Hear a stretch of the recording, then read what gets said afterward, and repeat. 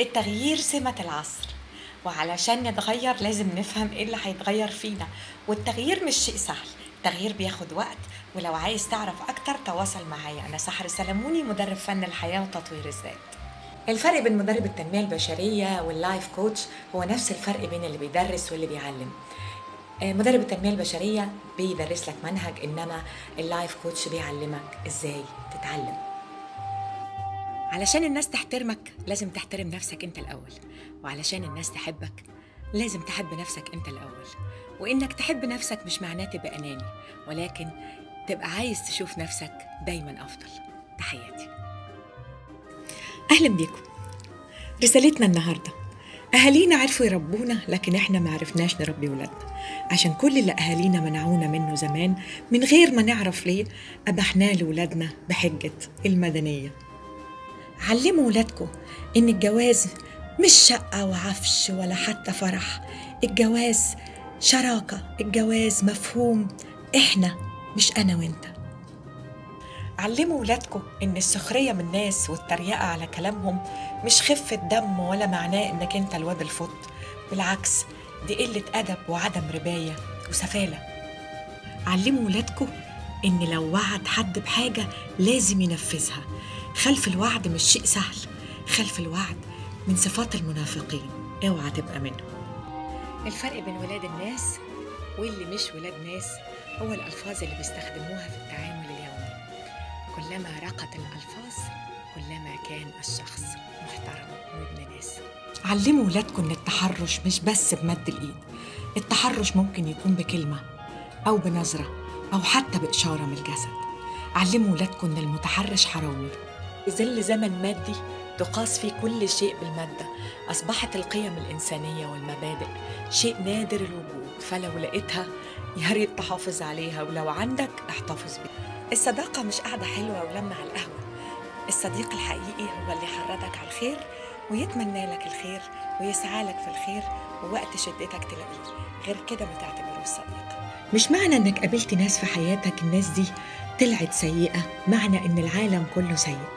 لا انت لازم تراجع معايير اختياراتك للناس ومش كل حد تقول عليه صاحبي. إيه الصداقة بين رجل وامرأة في الوطن العربي كله؟ لأن ما زال الرجل ينظر للمرأة على إنها جسد والمرأة تنظر للرجل على إنه محفظة إلا ما رحم ربي. ما فيش صداقة بين رجل وامرأة في مجتمع يتحدث عن الشرف ويتظاهر بالقيم وهو في الحقيقة لا يفكر سوى في جسده. أهلا بيكم. رسالتنا النهاردة أولا أنا مش واعظ ديني ولكن زي ما في مراحل تعليمية إعدادي وثانوي وجامعة في كمان ديانات سماوية يهودية ومسيحية وإسلام. الفرق بين المسلم الحق والمسلم المتشدد إن المسلم اللي بجد شاغل نفسه بالعلاقة اللي بينه وبين ربنا لكن المتشدد شاغل نفسه بالعلاقة اللي بين الناس وبين ربنا. النصب له أشكال كتير جدا مش لازم يكون نصب فلوس. ممكن يكون كمان نصب مشاعر وأسوأ أنواع النصب هو النصب باستخدام الدين. كل واحد بقى عايز يتشهر يروح يهبط في الدين. والله العظيم الدين بريء منكم. انت يا اخ اللي قاعد هناك مش عايز تفتي انت كمان في الدين وتتشهر؟ ولا انت يا أختي اللي هناك؟ فرق كبير قوي بين الخلاف والاختلاف. فالخلاف يؤدي إلى الجدل إنما الاختلاف يؤدي إلى التعايش وتبادل وجهات النظر. والفرق حرف. الحاجة الوحيدة اللي تخلي الإنسان يلتزم بالمعايير الإنسانية والأخلاقية هي الوازع الداخلي اللي اسمه ضميره. فلو مات ضميره ما تكلمنيش على أي حاجة تانية. العطاء نعمة من نعم ربنا علينا. والعطاء مش بس فلوس. العطاء كمان نفسي. ابتسامة في وجه أخيك عطاء. كلمة طيبة عطاء. دعوة بظهر الغيب عطاء. الخوف فكرة عقلية بتتولد جوه الإنسان وتكبر بسبب تجاربه السيئة أو تفسيره الخاطئ لهذه التجارب. اللي ما تقدرش تعمله قدام الناس ما تعملوش بينك وبين نفسك لأن اللي أنت خايف منهم دول ما يملكوش عليك حاجة. الأولى إنك تخاف من رب الناس. رسالتنا النهاردة عن الخوف من الله هو الخوف الوحيد المستحب إنك تعمله لأنه مقترن بحب. فلو ما خفتش من الله يبقى أكيد عندك حاجة غلط. أهلا بيكم. رسالتنا النهاردة. كلنا جوانا الخير والشر ولكن الشخص المدرك لذاته هو بس اللي بيقدر يخلص الناس من شره ويوريهم كل الخير اللي جواه. وإذا كنت فعلا عايز تدافع عن الرسول الكريم دافع عنه بأخلاقك. اظهر لنا أحلى ما فيك. تحياتي.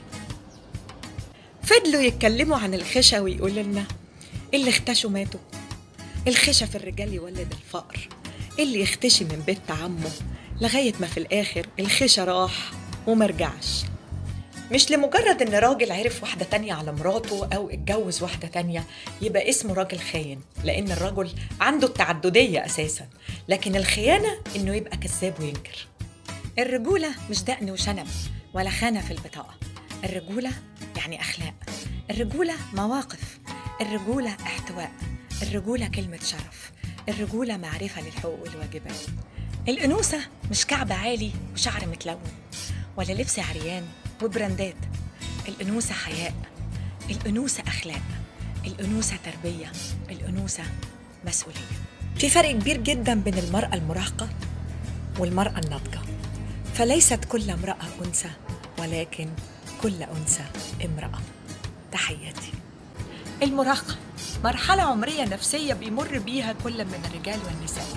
في ناس بتقدر تتخلص منها لما تكبر وفي ناس للأسف بتعيش بيها وفي ناس تانية بتعودها على كبر. أهلا بيكم. يوم جديد سعيد على كل المتابعين. أحلى حاجة في اسكندرية المطر. وقت الشتاء الجو بيبقى تحفة. بس أوحش حاجة لما الشوارع تتملى مية. سهلة قوي. إنك تبقى قليل الأدب ولسانك طويل وبتتلفظ بألفاظ بذيئة لكن صعب جدا إنك تبقى محترم ويبقى لسانك لا ينطق إلا طيب. اوعى تتخلى عن مبادئك تحت أي ظروف حتى لو العالم كله بعد عنك. خليك زي ما أنت وأوعى تبقى حد تاني. اوعى تخسر مبادئك تحت أي بند من البنود لا فلوس ولا مناصب. اوعى تبيع نفسك لأنك ما تقدرش بتمن. المشاعر السيئة اللي بتتكون جوه كل إنسان نتيجة للغضب والحقد والحسد. كافية إنها تبوظ له حياته وتدمرها الناس اللي قاعدة بتدعي الشرف قدام الناس كل واحد أضرب حاله. بس عايزة أقول لكم حاجة. إيه فايدة عفة الجسد إذا كان الفكر عاهرا؟ ثقافتين مهمين جدا لازم نتعلمهم علشان نعيش حياتنا بسعادة. أول ثقافة ثقافة الاعتذار إنك تقول أنا آسف والثقافة التانية هي ثقافة الامتنان أو الشكر. أحد الأسباب اللي بتمنع التواصل الجيد بين الناس إننا لما بنسمع بعض بنسمع بعض علشان نجاوب على بعض مش علشان نفهم بعض ودي مشكلة فعلا. أهلا بيكم. التواصل الاجتماعي مش رسالة نقولها لبعض الصبح على ال inbox ولا حتى على الواتساب.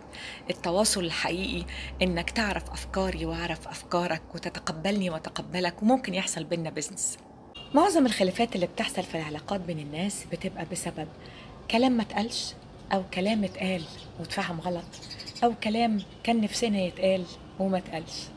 بتقابلهم وتضحك في وشهم ومن وراهم بتقول عليهم العبر. طب لما تحكي من وراهم. ابقى احكي الحقيقة. ما هو ما ينفعش تبقى منافق وكمان كذاب. الأخوة مش اسم شبه اسمي في البطاقة. بالعكس في إخوات كتير قوي ممكن تقابلهم في حياتك ما يبقوش ابن أمك وأبوك. ال social media بتعد من أهم وسائل الحروب في العصر الحديث. فيا ترى وأنت قاعد على ال social media وبتشير post أنت بتشارك في الحروب دي ولا أنت واعي وعاقل؟ وما بتعمل الغرور مش صفة من صفات العلماء واللي عندهم علم. فلو قابلت في حياتك إنسان مغرور وكان يدعي العلم أو يطلق على نفسه عالم فاعرف أنه جاهل. الفلوس عمرها ما كانت بتعمل بني آدمين. لكن البني آدمين يقدروا بسهولة يعملوا فلوس. والفرق بين ولاد الناس واللي مش ولاد ناس الألفاظ. النظافة مش إنك تاخد دوش وترش برفيوم النظافة الحقيقية هي نظافة قلب هي نظافة أفكار هي نظافة ضمير. والله تستعملوا الكلور يكون أفضل. زي ما قالوها زمان الصدق منجي والكذب خيبة. الكذب بيقللك في عيون الناس الكذب بيخلي الناس ما تثقش فيك الكذب بيخلي الناس ما تحترمكش. يعني يا جماعة اللي سايب مناخيره عند الناس لو سمحتوا يشيل مناخيره. يعني مش كل حاجة تحشر فيها مناخيرك مش معقول كده؟ يعني شيل مناخيرك من عند الناس عشان تريح الناس وترتاح. أسهل حاجة في الدنيا إننا نفتي. عارف الشيء الفلاني؟ آه طبعا أعرفه. لما كان لما يجي يدخل في الشيء الفلاني ده يك- تكتشف إنه ما يعرفش حاجة. الفتي له أصوله يا جماعة لازم علشان تفتي يبقى عندك معلومات ولا إيه رأيكم؟ الدنيا بقت عاملة زي السيرك. في مروضين أسود وفي ناس بتمشي على الحبال وفي كمان بلياتشو الناس بتضحك عليه. يا ترى انت مين فيهم؟ انت مروض الأسود ولا انت البلياتشو ولا انت اللي بترقص على الحبال؟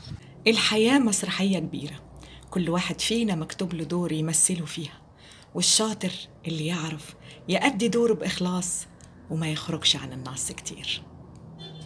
الفرق بين الثقة بالنفس والغرور شعرة. وعلشان يحصل لك الثقة بالنفس دي لازم يكون عندك أهم حاجة اللي هي المعلومات تكون مثقف.